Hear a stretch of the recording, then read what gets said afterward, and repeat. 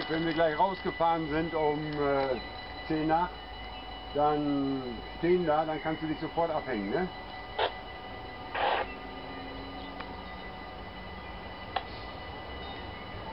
Dirk, fahr's mal bitte melden.